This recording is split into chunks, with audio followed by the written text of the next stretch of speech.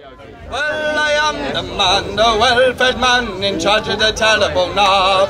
The most pleasing thing about it, it's almost a permanent job. And when the autumn world is over and the world is split in three, a consolation I've got. Well, maybe it's not there'll be nobody left but me. I sit at me desk in Washington, in charge of this great machine, more vicious than Adolf Hitler more deadly than strychnine. And when I come after the tiling, I just I give myself a laugh.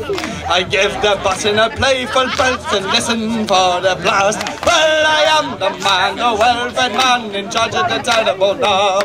The most pleasing thing about it, it's almost a permanent job. And when the autumn world is over, and the world is split in three. A consolation I've got, well maybe it's not there'll be nobody left but me.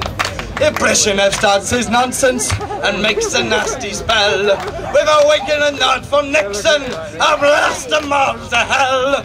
And as for that, Fidel Castro, him with the sugar cane. He needed hide behind his whiskers, I'll get him just the same. Well, I am the man, the well-fed man in charge of the telephone knob the most pleasing thing about it, it's almost a permanent job, and when the autumn war is over, and the world is split in three. A consolation I've got, well maybe it's not there'll be nobody left but me. If me wife denies me conjugate right to me breakfast milk is sour. From eight to nine in the morning, you're in for a nervous hour. For the button being so terribly close, it's really an awful joke. A brush of me ass as I go past and we'll all go up in smoke. Well, I am the man, the well-fed man in charge of the telephone knob. The most pleasing thing about it, it's almost a permanent job. And when the autumn war is over, and the world is split in three, a consolation I've got. Well, maybe it's not, there'll be nobody left but me.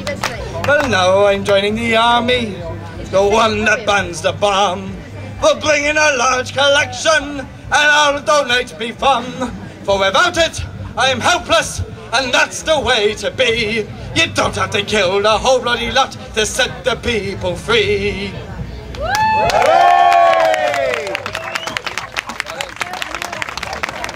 You've been gorgeous.